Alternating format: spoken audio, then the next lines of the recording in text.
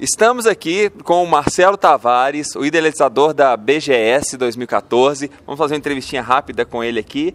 É, então, Marcelo, é, eu vi que você trouxe um stand da sua própria coleção pessoal ali, tá muito bacana e é muito difícil garimpar, procurar isso tudo. Como é que é?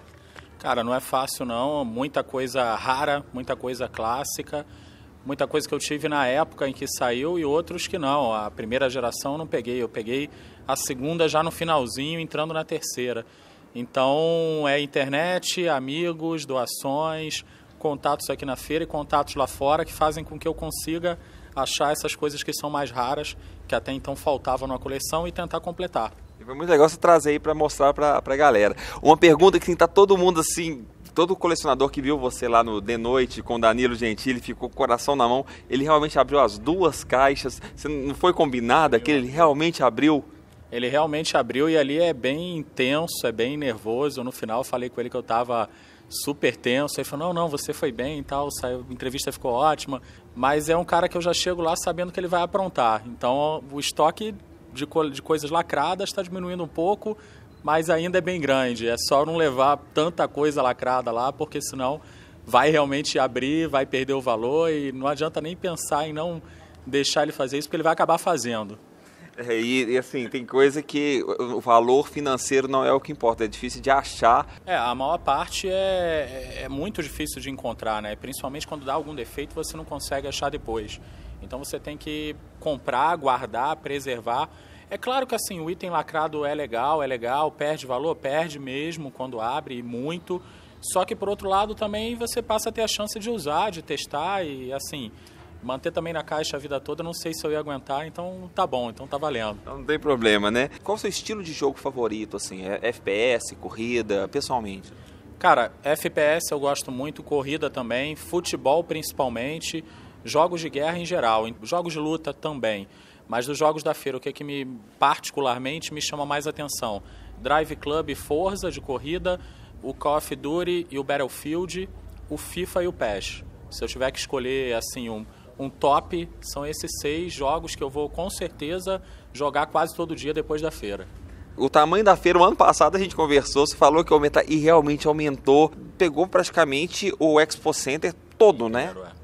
Agora a gente ocupa todo o Expo e o evento ele ele tá com um tamanho que eu acho que os jogadores merecem, que a gente gostaria de ter. A gente consegue ter um volume de empresas maior, a gente consegue ter corredores mais amplos, a gente consegue ter mais entradas na feira. Então ajuda, sem dúvida, muito para que o evento corra de uma maneira positiva até o final, para que a gente possa ter o público marcando presença e com conforto para poder se deslocar, para poder interagir com essas novidades todas. Ano que vem é trabalhar para aperfeiçoar ainda mais, para trazer mais inovação, mais qualidade para a feira. Tem alguma coisa já planejada, alguma novidade assim que já está, alguma ideia já para o ano que vem? Até tem, só não dá para revelar ainda, mas com certeza tem algumas ideias, alguns projetos que a gente quer implementar no ano que vem para tornar a experiência ainda mais interativa desde o início até o final do dia, quando o visitante vai embora. Acho que esse ano a gente conseguiu inovar em muita coisa, né? Teve um aplicativo novo, todo gamificado, com ranking, é, com check-in nos stands. A gente conseguiu também criar uma entrada muito melhor para todo mundo. Uma hora da tarde já estava todo o público dentro da feira. E eu digo para você que é, é reflexo do, do, planejamento, do trabalho, tudo que a gente fez e também o número de lançamentos e atrações que a gente trouxe para a feira esse ano bateu recorde se a gente comparar com os outros anos. Ano passado o foco foram nos dois consoles novos, né? O Xbox One e realmente a gente está começando a ver o poder desses consoles, para que, que eles vieram, né? É, eu acho que agora essa safra, né, os jogos aí como Mortal Kombat, como o próprio Drive Club, o Forza, é, o Sunset Overdrive, são jogos realmente next gen. Não são mais jogos da geração passada que foram aproveitados de certa forma nessa geração, uma lapidada aqui, outra ali, um retoquezinho e ok, lança. Não, agora eles tiveram tempo para desenvolver, tiveram tempo para apresentar jogos realmente de next gen. E o resultado é esse. As pessoas que eu encontrei nos corredores da feira me falaram que até gostaram mais da feira esse ano em relação ao conteúdo do que o ano passado. Porque tinha consoles bacanas, sim. Foi legal ver pela primeira vez? Sim. Mas esse ano você tinha o jogo, você tinha o, o jogo efetivamente que vale a pena você comprar na nova geração. A, começou agora sim a, a, aparecer aquela ideia na cabeça do jogador. Não, eu tenho que sair da geração passada, PlayStation 3 Xbox 360 já não dá mais, é a hora de migrar para a nova geração. É quando a gente vê um The Order ou, ou o Bloodborne, a gente vê e fala, realmente isso aqui é muito diferente da, da, da, da, geração passada. E a gente teve a presença aqui do Ed Boon. Eu sou fã de Mortal Kombat, eu coleciono Mortal Kombat, eu tenho todas as versões. Eu sempre, desde muito tempo atrás, eu tinha que ter a melhor versão de Mortal Kombat. Então eu tenho três versões do Mortal Kombat 1. Trouxe até a do, a do Sega CD para o Ed Boon autografar, e ele autografou, foi muito bacana. E como que foi trazer o Ed Boon para cá? Ele se propôs? Como foi o contato? Então, em primeiro lugar, ano passado, a gente fez uma pesquisa com visitantes depois da feira. Nessa pesquisa, apareceu ele como um dos três nomes mais solicitados pelo público brasileiro para virem à feira.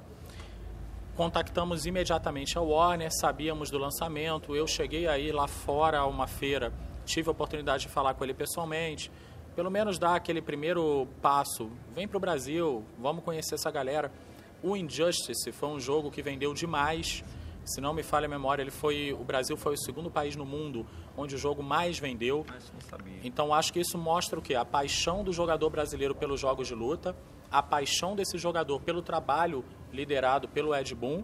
E eu acho que veio também dele o desejo de conhecer. Ele veio, foi muito solícito, falou com todo mundo, imprensa, empresários, com personalidades, mas também, principalmente, ele falou com todos os visitantes numa boa. Sim, tratou a gente super bem, conversou com todo mundo.